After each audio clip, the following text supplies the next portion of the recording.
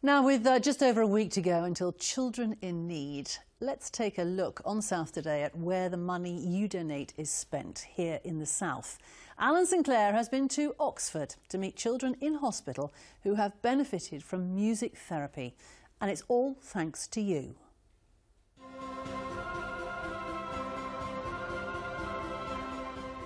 Rosie's Rainbow Fund runs music therapy sessions here in Oxford, in Reading and at Stoke Mandeville. The kids are often stuck in hospital for weeks, even months at a time. BBC Children in Need is supporting their work to help them escape their worries for a while. I get to learn new instruments. I usually pick the keyboard because it's fun. It's like an escape from from doing like boring stuff in hospital. It's really fun to um, actually take a break and do music. So I bring in a range of instruments and give them the opportunity to express themselves however they want through sound, through instruments, through voice. And my job is to support them and however they're feeling and to possibly take them into a, a, a different space. Hello, Allen. Hello, from Andy. Hello. This, this year he was diagnosed with uh, acute myeloid leukemia, um, which since June he's been having treatment for.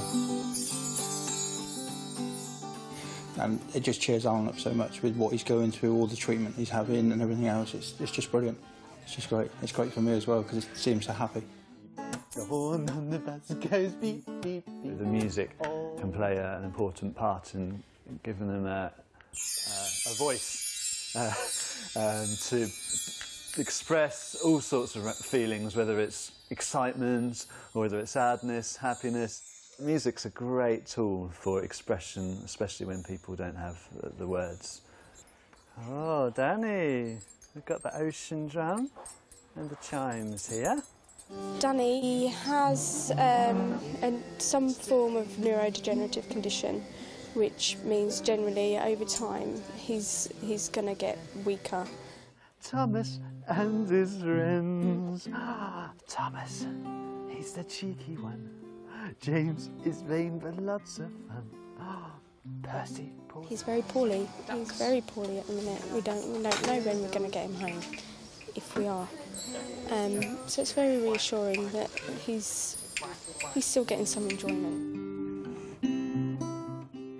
If it wasn't for the £12,000 it receives from BBC Children in Need, Rosie's Rainbow Fund simply couldn't run these music therapy sessions. The only way they can carry on is through public donations, and Children in Need is absolutely wonderful for that. Oh, that's pretty good. Yeah. Yeah, Pudsey playing the ukulele. Oh, very nice, Pudsey. Very good.